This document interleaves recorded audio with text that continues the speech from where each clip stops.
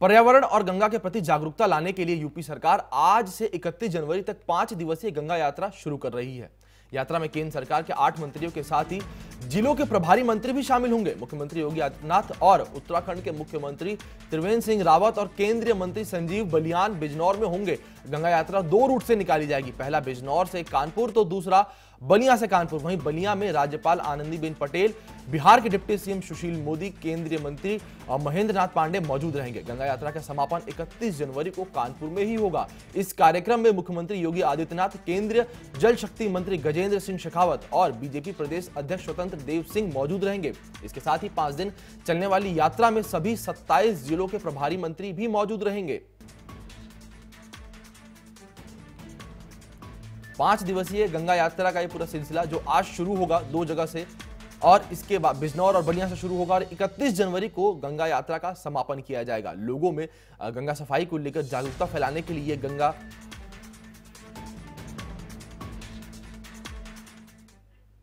गंगा यात्रा में उत्तराखंड के सीएम त्रिवेंद्र सिंह रावत भी शामिल होंगे। योगी आदित्यनाथ के साथ इस यात्रा में शामिल होने के लिए वो बिजनौर पहुँचेंगे। आपको बता दें कि बिजनौर में गंगा के लिए जन जागरूकता अभियान को लेकर ये पाँच दिवसीय यात्रा शुरू हो रही है।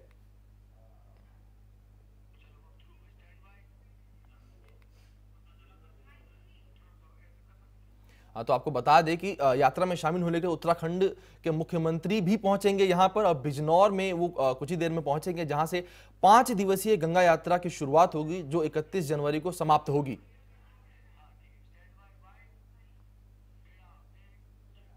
सीएम योगी आदित्यनाथ और उत्तराखंड के सीएम त्रिवेंद्र सिंह रावत बिजनौर के गंगा में, बिजनौर से गंगा यात्रा की शुरुआत करने जा रहे हैं। दोनों सीएम की सुरक्षा के लिए पानी में मोटर बोट के साथ ड्रोन से सुरक्षा के इंतज़ाम किए गए हैं। हमारे सहयोगी रोहित त्रिपाठी ने भी मौके पर जाकर तैयारियों का पूरा जायजा लिया है। को स्वच्छ और निर्मल बनाने के लिए उत्तर प्रदेश के मुख्यमंत्री योगी आदित्यनाथ और उत्तराखंड के मुख्यमंत्री त्रिवेंद्र रावत गंगा यात्रा को हरी झंडी दिखाकर शुरुआत करेंगे। ये गंगा यात्रा दो चरणों में शुरू हो रही है। बिजनौर से कानपुर और वहीं बलिया से कानपुर, ये गंगा यात्रा 31 जनवरी को कानपुर पहुंचकर समाप्त होगी। तो वहीं बिजनौर के बैराज से मुख्यमंत्री योगी आदित्यनाथ गंगा यात्रा को हरी झंडी दिखाकर शुरुआत करेंगे। हम आपको दिखाना चाहेंगे कि मुख्यमंत्री योगी आदित्यनाथ उस मंच से पहले गंगा आरती करेंगे, गंगा में जाकर, इसके बाद वहाँ मंच पर पहुंचकर वो यहाँ की जनता को संबोधित करेंगे। साथ ही साथ गंगा किस तरीके से स्वच्छ और निर्मल रहे, जहाँ से भी, जिन गाँव से भी गंगा होकर गुजर रही है, वहाँ के लोगों को मैसेज दिया जाएगा कि गंगा को किस तरीके से स्वच्छ और निर्मल बनाए रखना है। इस गंगा यात्रा को लेकर बिजनौर जिला प्रशासन द्वारा, जहाँ 2000 से ज़्यादा पुलिसकर्मी को लगाया गया है सुरक्षा व्यवस्था की दृष्टि से तो वहीं ड्रोन कैमरे की मदद से इस कार्यक्रम को सफल बनाने के लिए सुरक्षा व्यवस्था के कड़े इंतज़ाम किए गए हैं। Rohit Tripathi R nine TV Bijnor.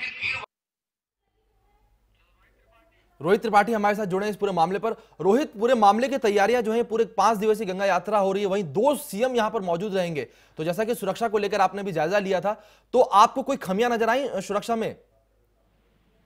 अभिषेक, मैं बता दूँ जो है गंगा यात्रा को लेकर जो है, जो पुलिस की व्यवस्था है, साथ ही साथ जो है पैरामिलिट्री फोर्स लगाई गई है। दूसरी बात है, सुरक्षा व्यवस्था को लेकर जो है ड्रोन कैमरे की मदद से पूरे जो ये प्रोग्राम गंगा बैराज पे हो रहा है, उस पर नज़र रखी जा रही है। कुल मिलाकर अगर सुरक्षा व्यवस्था के इंतज़ाम किए जाए तो सुरक्षा व्यवस्था के पुख्ता इंतज़ाम किए गए हैं। आसमान से लेकर ज़मीन से लेकर कहीं से भी कोई आदमी, किसी भी तरह की अगर हरकत करता है तो उसको पुलिस के द्वारा तुरंत पकड़कर कड़ी कार्रवाई की जाएगी। जी अभिषेक रोहित तो पाँच दिवसीय गंगा यात्रा इसका इसके पीछे रीजन क्या है कि दो जगह से गंगा यात्रा निकाली जा रही है? एक जगह आनंदीबेन पटेल इसकी शुरुआत करेंगी तो वहीं दूसरी जगह से उत्तराखंड और उत्तर प्रदेश दोनों जगह के सीएम इसकी शुरुआत करेंगे। अभिषेक मैं आपको बता दूँ जो है ये गंगा स्वच्छ यात्रा जो है कुल मिलाकर गंगा को स्वच्छ और निर्मल बनाए रखने के लिए जो है निकाली जा रही है जिसको दो चरणों में बिजनौर से जो है मुख्यमंत्री योगी आदित्यनाथ और बलिया से जो है आनंदीबेन पटेल जो है इसकी शुरुआत कर रहे हैं और ये गंगा यात्रा इकतीस जनवरी को कानपुर में जो है समाप्त होगी और साथ ही साथ इस यात्रा के दौरान कम से कम 1100 गाँव जो लगभग पड़ेंगे और साथ ही साथ 21 नगर पालिकाएँ हैं। और इसको लेकर जो है, जो गाँव जुड़े हुए हैं गंगा से या जो शहरी इलाके जुड़े हुए हैं, उन आम जनता के बीच में लोगों को जागरूक करना कि गंगा को किस तरीके से स्वच्छ और निर्मल बनाए रखना है। इसके लिए गंगा यात्रा की पाँच दिन से लगातार तैयारी करी जा रही थी और आज इसकी शुरुआत हरी झंडी दिखाकर मुख्यमंत्री योगी आदित्यनाथ बिजनौर से और उत्तराखंड के त्रिवेंद्र सिंह रावत मुख्यमंत्री भी इसमें शामिल रहेंगे। अभिषेक। रोहित तो इसके मुख्य पड़ाव कौन से रहेंगे? गंगा यात्रा पाँच दिन की रहेगी तो पाँच दिन से होते जैसा अभी आपने बताया कि कई गाँवों से होकर गुजरेगी तो गंगा यात्रा के जो मुख्य पड़ाव हैं, जहाँ आकर्षण का केंद्र रहेगा कौन कौन से रहेंगे? अभिषेक, मैं आपको बता दूँ, जो है, ये गंगा यात्रा बिजनौर से शुरू होकर जो है हसनापुर होते हुए, बुलंदशहर होते हुए कानपुर पहुंचनी है। इसके जो मुख्य पड़ाव से जहाँ पे कहा जा रहा था कि मुख्यमंत्री हसनापुर में रुकेंगे, लेकिन मुख्यमंत्री बिजनौर से बाई कार क्योंकि पानी कम होने के कारण बोट से ना जाकर जो है, बाई कार जो है बैराज पहुंचकर पहले गंगा पूजन करेंगे, इसके बाद लोगों को संबोधन करने के बाद जो है, करीब डेढ़ बजे के लगभग बाई कार रामराज के निकलेंगे और यही, ये यात्रा मुख्यमंत्री की रामराज में खत्म हो जाएगी क्योंकि हसनापुर का प्रोग्राम कैंसिल कर दिया गया है। ज़्यादा पानी न होने के कारण बाई रोड ये यात्रा चलेगी, लेकिन मुख्यमंत्री आज जो है बैराज से इसकी शुरुआत करके रामराज पहुंचकर वहाँ से फिर वापस लौट जाएँगे लखनऊ के लिए। बाद में इकतीस तारीख को जब यात्रा दोनों यात्राएँ कानपुर पहुंचेंगी तो वहाँ पे इसका भव्य स्वागत होगा। उसमें जो है अमित शाह होंगे मुख्यमंत्री योगी आदित्यनाथ उत्तराखंड के वो आनंदी पटेल। इस तरीके के काफ़ी चेहरे होंगे जो या, यात्रा के पहुँचने पर शामिल होंगे। अभिषेक बहुत बहुत धन्यवाद रोहित आपका हमारे साथ इस खबर पर जुड़ने के लिए। अब आगे बढ़ेंगे।